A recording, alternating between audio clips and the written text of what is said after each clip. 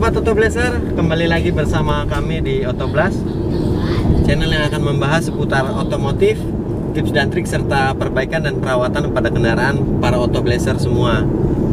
Ya baik, kembali lagi di video kami.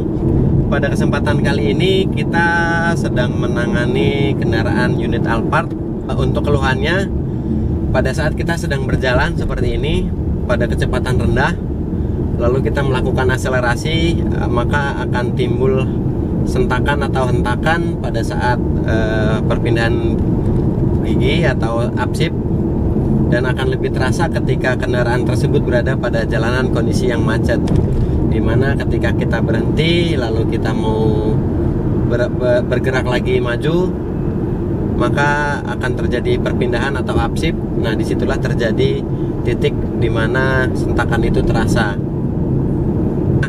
akan tetapi perlu diketahui bahwa sebenarnya untuk uh, CVT dan pada kendaraan ini sudah dilengkapi dengan CVT seharusnya sudah tidak terasa pada perpindahannya. Karena perpindahannya menggunakan belt dan juga puli sehingga tidak terasa perpindahannya seperti pada kendaraan dengan transmisi ECT Nah seperti apa Sobat Auto Blazer e, cara pemeriksaannya dan cara menangani keluhan ini Jangan ke mana-mana, simak terus video kami. Salam Kompleter.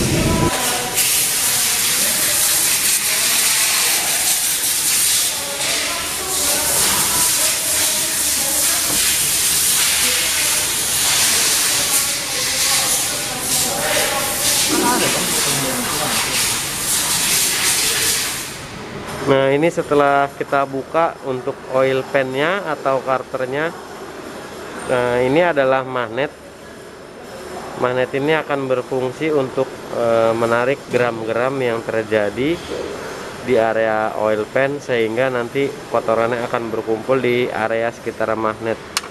Nah jika kita lihat untuk oli metiknya sudah kotor.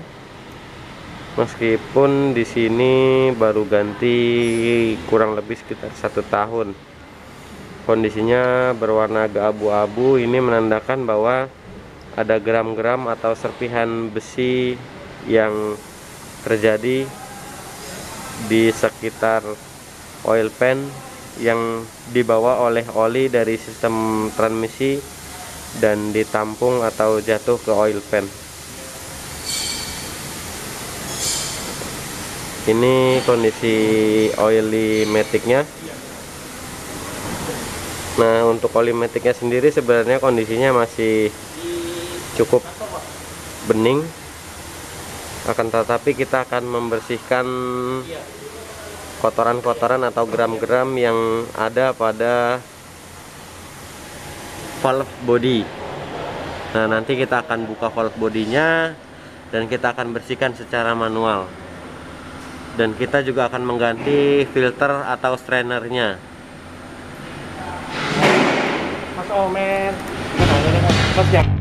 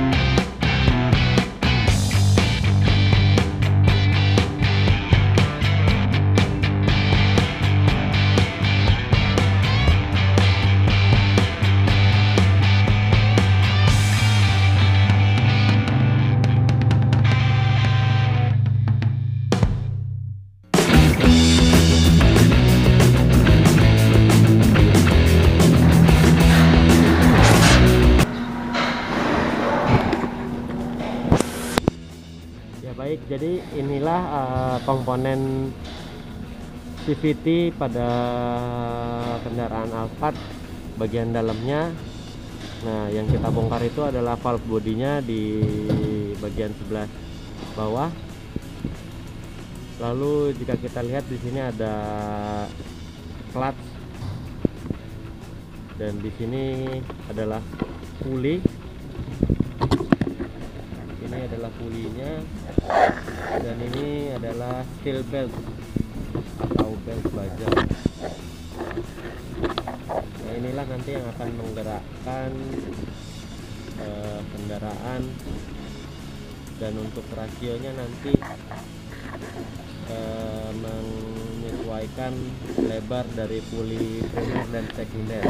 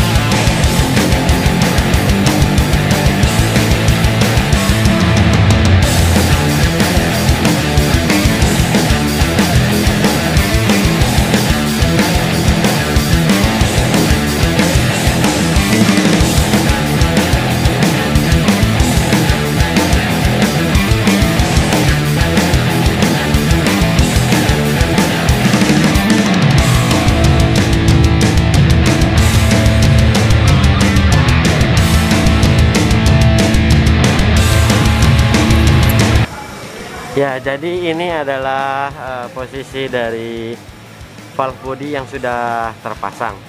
Nah, selanjutnya tinggal memasang strainer di bagian bawah. Dan ini kita sudah siapkan strainer yang baru karena strainer yang lama sudah banyak terkontaminasi dengan gram-gram atau serpihan-serpihan logam yang juga dapat mengakibatkan nanti tersumbatnya saluran-saluran pada valve body. Oke kita pasang dulu untuk strainernya atau saringannya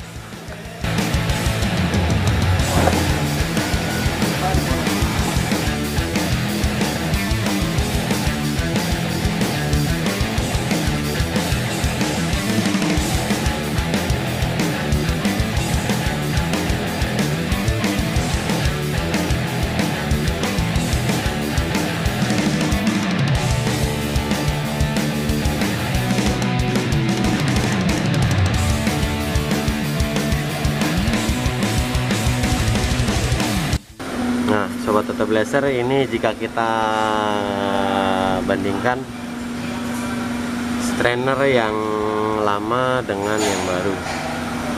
Untuk strainer yang lama sudah kotor dan juga ketika kita bersihkan banyak kandungan dari gram-gram atau rontokan dari metal atau logam pada komponen di dalam transmisi matic sehingga menyebabkan tersumbatnya strainer dan juga saluran-saluran yang sangat kecil pada valve body.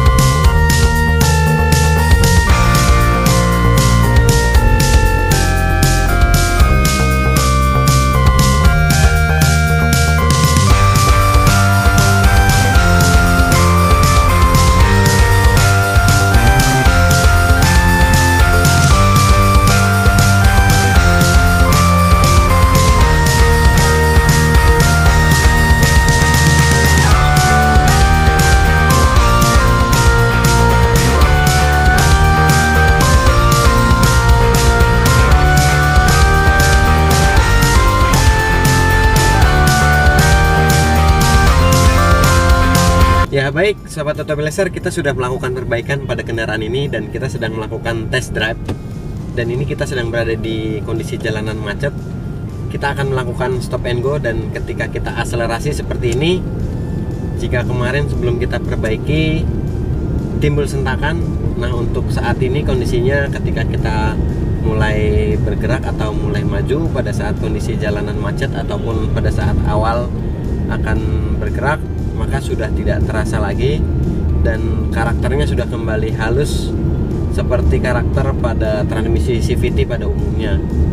Ya baik. Jadi memang penyebabnya untuk keluhan tersebut adalah eh, terjadinya penumpukan kotoran pada bagian valve body di mana untuk saluran-saluran tersebut akan mengatur perbandingan gear ratio dengan membuka dan menutup solenoid sehingga menyebabkan uh, perbedaan gear ratio antara puli primer dan sekunder.